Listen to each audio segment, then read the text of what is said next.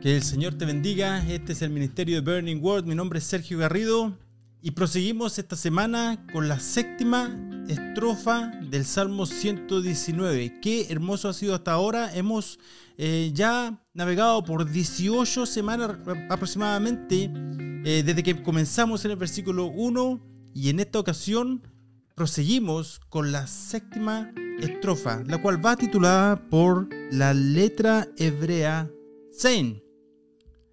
Y bueno, esta estrofa nos dirige, la verdad, a un enfoque especial hacia el recordar el poder de la palabra de Dios para consolarnos, para restaurarnos, para fortalecernos y para causar esperanza en aquellos que decidimos colocar nuestra fe en Dios. ¿Y cuánto de nosotros sabemos la importancia de poder recordarnos? Y la verdad que hay un enfoque especial en esta estrofa, en recordar, repite la palabra recordar en tres diferentes ocasiones. Y de verdad que muchos de nosotros eh, necesitamos que se nos refresque la memoria, ¿verdad? Em, a veces necesitamos recordar las veces que Dios nos salvó, ¿verdad? Dice el Salmo 107 que vino su palabra y nos sanó y nos salvó de la destrucción. Y a veces necesitamos recordar de todas esas veces que Dios nos salvó. Esas veces que eh, teníamos eh, ese esa cita con el doctor, ¿verdad? Y rogamos al Señor, Señor, ojalá que esto no sea nada, ¿verdad? Y allá fue el Señor y nos, respondió. Necesitamos recordar todas esas veces de que estábamos con el corazón en la mano, deseando poder emigrar a ese país, Señor, y, que, y que Dios interviniera de alguna manera para que nos dieran esa visa, ¿verdad? Y a veces necesitamos recordar esas veces que estuvimos sin trabajo y de pronto nos humillamos delante del Señor y le pedimos que de alguna manera Él abriera una puerta y allá fue Dios y abrió esa tremenda puerta para la cual ni siquiera teníamos las calificaciones muchas veces para poder entrar en ese tipo de trabajo y Dios nos abrió esa puerta. Necesitamos, la verdad que necesitamos recordar y estoy convencido de que esta palabra de parte del Señor nos va a traer ánimo te va a infundir esperanza, te va a infundir fe necesaria para poder enfrentar la vida con todos esos altos y bajos, esas vueltas y esas sorpresas, ¿verdad? Esas sorpresas que a veces nos trae la vida. Y notarán que en esta estrofa hay una diferencia con respecto a las estrofas anteriores y es que no hay oraciones específicas pidiendo ayuda. La verdad que aquí el salmista declara su confianza en la palabra del Señor para, y que le, ayudará a continuar amando y obedeciendo eh, las enseñanzas que están contenidas allí. Entonces, como ha sido lo normal, cada vez que comenzamos una estrofa del Salmo 119, vamos a leer todas las estrofas. Son solamente ocho versículos que vamos a leer y después, luego nos concentraremos solamente en los dos primeros versículos de la estrofa, el cual es el versículo 49 y 50. Entonces voy a leer para ustedes, si usted quiere abrir su Biblia, vamos a leer el Salmo 119 desde el versículo 49 al 56. Y dice así, acuérdate de la palabra dada a tu siervo, en la cual me has hecho esperar. Ella es mi consuelo en mi aflicción, porque tu dicho me ha vivificado. Los soberbios se burlaron mucho de mí, mas no me he apartado de tu ley. Me acordé, oh Jehová, de tus juicios antiguos, y me consolé. Horror se apoderó de mí a causa de los inicuos, que dejan tu ley. Cánticos fueron para mí tus estatutos en la casa en donde fui extranjero. Me acordé en la noche de tu nombre, oh Jehová, y guardé tu ley. Estas bendiciones tuve porque guardé tus mandamientos. Y bueno, el versículo 49, en el versículo 49 se menciona por primera vez la palabra esperar. Y cuando la Biblia usa esta palabra esperar, la cual viene de la palabra esperanza, ¿verdad? Podemos ver que la palabra esperanza está como escondida ahí, ¿verdad? y la verdad que no la usa de la manera como probablemente tú y yo la usemos normalmente, como cuando, por ejemplo, decimos, ah, espero que no llueva hoy día, ¿verdad?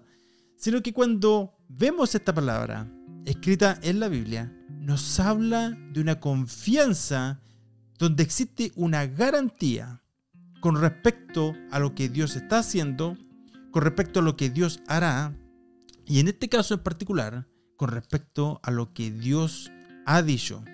Y esto produce una expectación hacia el futuro. Esto nos produce esperanza. ¿Y cuántos de nosotros sabemos que muchas veces las enfermedades del alma son em, la razón por la cual ocurren? Es porque hay una falta de esperanza, ¿verdad? Y mucha gente eh, pierde la esperanza por distintos motivos. Y sienten que, por decir algo, eh, mi esposo nunca va a cambiar. Mi esposa nunca va a cambiar. ¿Verdad? Eh, nunca voy a poder salir de esta situación. Pierde la esperanza en decir, mi hijo nunca va a volver.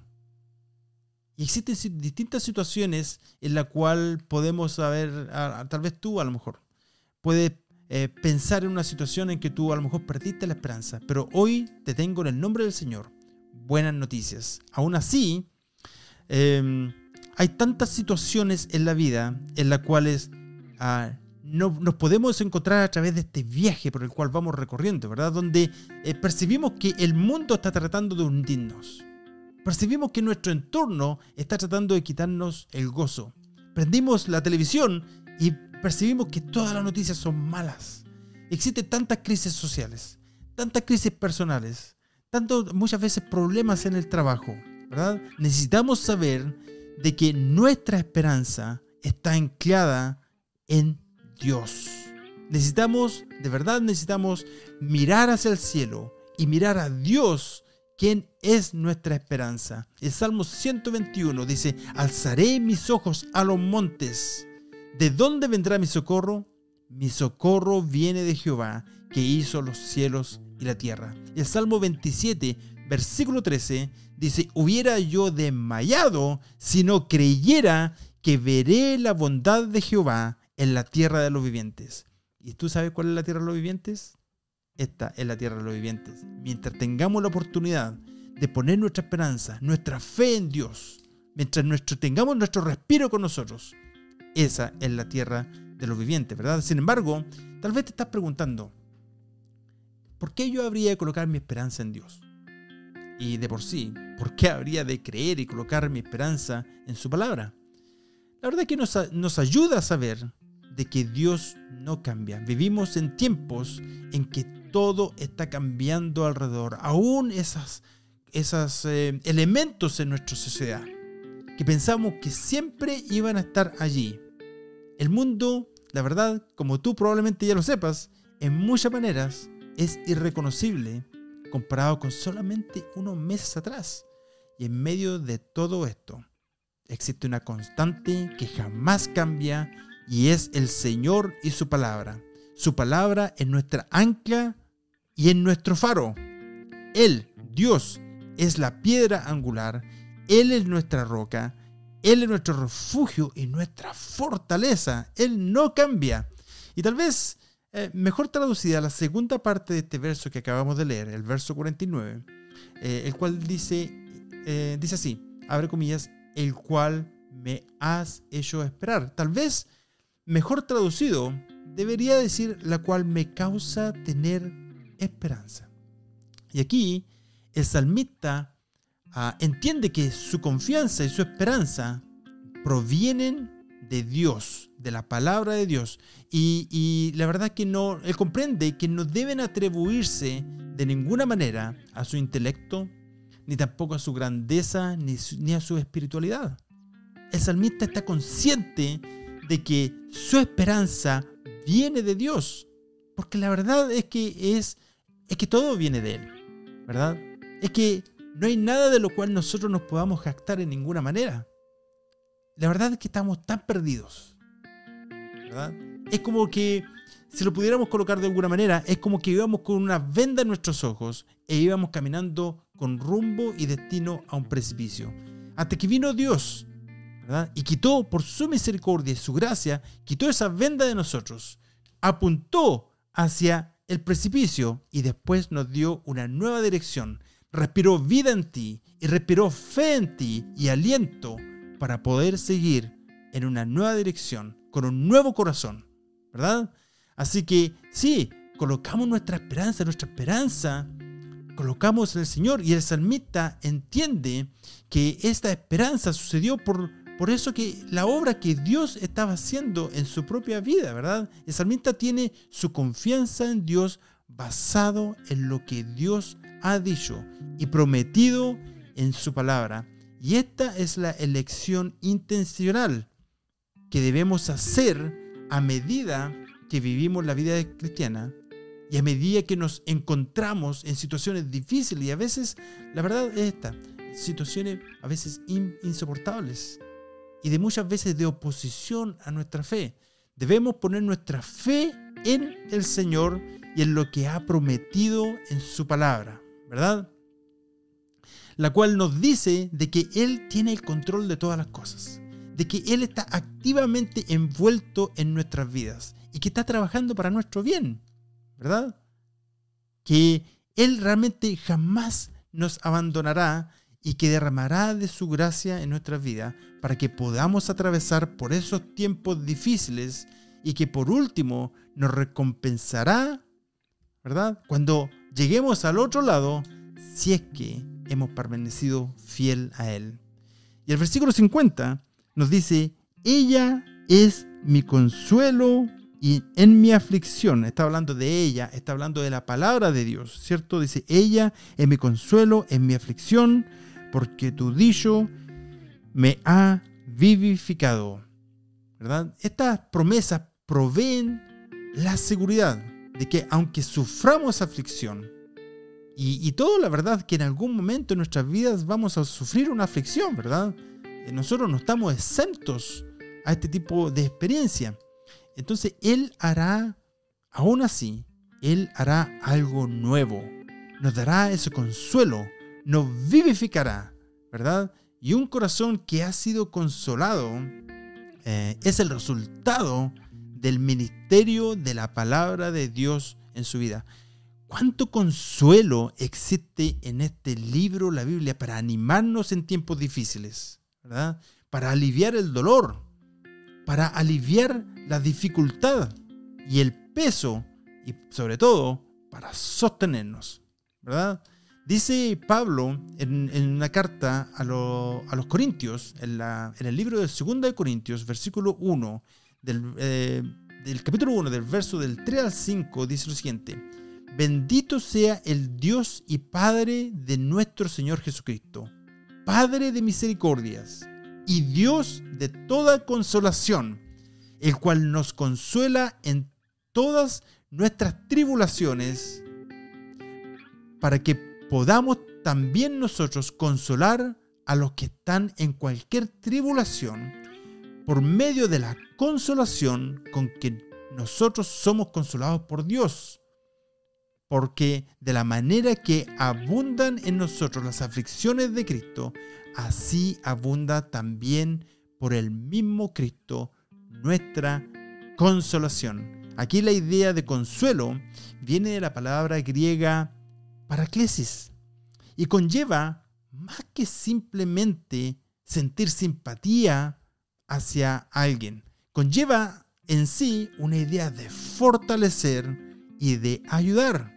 Y eso es lo que obtenemos de la palabra de Dios. Y el verso 3 dice en 2 Corintios capítulo 1, dice que Dios es la fuente de toda consolación. Qué hermosa paradoja. Ella es mi consuelo en mi aflicción. ¿No es acaso este un motivo para ser agradecidos con Dios? Que aún en medio de una gran aflicción personal, Dios nos provee un consuelo aún mayor, más grande que nuestra aflicción. Y esta viene directamente de la palabra de Dios, ¿verdad? Y nos dice más tarde, eh, porque tu dicho me ha vivificado, ¿verdad? Lo dice en el versículo 50, dice, ella es mi consuelo en mi aflicción, porque tu dicho me ha vivificado, ¿verdad? Qué poderosa es la palabra de Dios como para revivir los corazones de sus hijos y de sus siervos eh, y de cualquier persona que realmente quiera colocar su fe en Cristo, ¿verdad? Y en medio aún de experiencias dolorosas y muchas veces tan llenas de aflicción, ¿verdad? Esta palabra, vivificado, aquí significa sustentar la vida, restaurar, revivir de enfermedad, de desánimo, de debilidad, causar crecimiento, conlleva la idea de ser aún así revivido de la muerte. Cuando nos encontramos desanimados y deprimidos, es la palabra de Dios que revive nuestros corazones y le da fuerza a nuestras almas. Este es un consuelo verdadero que Dios da al afligido. El príncipe de los predicadores, Spurgeon, dijo lo siguiente con respecto a este verso. Abre comillas. Ella es mi consuelo. El mundano agarra su bolsa de dinero y dice, este es mi consuelo. El derrochador señala su alegría, grita, este es mi consuelo. El borracho levanta su copa y canta, este es mi consuelo. Pero el hombre cuya esperanza proviene de Dios siente el poder vivificante de la palabra del Señor y testifica, este, este querido amigo, es mi consuelo. Querido hermano y amigo, hay un, ah, un dolor o una aflicción que nada ni nadie puede ayudarte a aliviar. Y ha tratado de tantas maneras. Y aún así te encuentras en el mismo lugar donde comenzaste y tal vez aún peor. Te quiero contar de que este es nuestro consuelo y que también puede ser tu consuelo. Viene a nosotros a través del Espíritu Santo y mediante la verdad que está escrita en este libro, la Biblia. Y el mayor consuelo que experimentamos en la vida no es realmente lo que el hombre pueda decirte para levantar tu espíritu sino que realmente es lo que Dios tenga que decirte a tu corazón, el cual Él te va a revivir, con su palabra te va a revivir. Es cuando Dios te habla directamente al corazón, a tu, a tu condición, que va a traer consuelo y te va a vivificar. El mejor amigo que alguna vez puedas tener es alguien que te animará con este libro, quien te recordará de las promesas, preciosas que están escritas en la palabra de Dios. De hecho, la única manera en que verdaderamente te puedo consolar es hablándote la palabra de Dios, reforzando de alguna manera tu fe en la palabra de Dios. Esta es la manera como podemos y debemos ministrar, incluso el uno al otro cuando colocamos nuestros brazos en los hombros de alguien que está quebrantado, ¿verdad? Que está deprimido, que necesita ese consuelo, ¿verdad? Nuestra única esperanza y consuelo que existe para tu alma y para mi alma se encuentran en las promesas incomparables de la palabra de Dios. Él es tu admirable consejero, Él es la fuente de toda consolación para tu vida y para mi vida. Y que el Señor te bendiga y nos estaremos viendo, encontrando nuevamente eh, la próxima semana. Señor te bendiga.